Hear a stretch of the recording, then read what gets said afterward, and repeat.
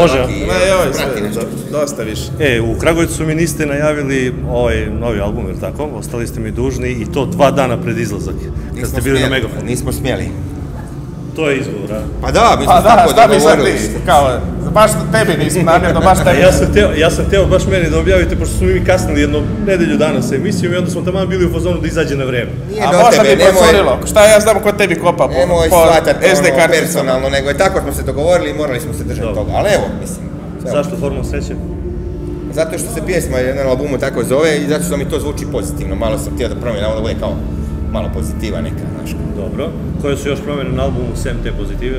Pa to što smo snimali, U Zagrebu smo snimali u studiju Jura, ovaj, miksu Jura, ha, ne, nije, Ivan Havidić. Ivan. Kajdić, da, i njegov stari Jura i par stvari Bandar i tako, ono, miks, malo smo, malo smo na, ono, miješali sad ekipu i to.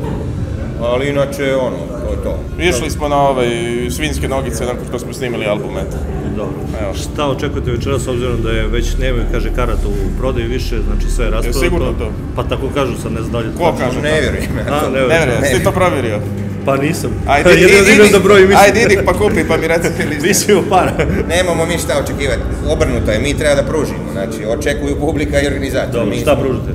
Pa daćemo sve od sebe, znači, ako treba i da poginemo, ako nije problem. Dobro, jer ima nešto što ćete sad da mi prečutite.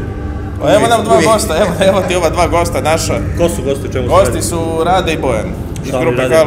Sviraju u grupi Kal i inače dobro sviraju, generalno. Tako da smo zvali, evo, palo nam na pamet da probamo. Violina i harmonika malo da podebljuju neke pjesme. Uvijek smo htjeli da čujemo znanac kako bi zvučao, znaš, u stvari sa brass sekcijom, pa smo nekako, ajde, došli do njih, spletom okolnosti, nije brass, ali evo vidjet ćemo. I onda smo ubacili još par stvari, eto, spontano. Sreli Okej. smo se u Osijeku tamo. I ustaljeno pitanje koju biste pesmu izdvojili?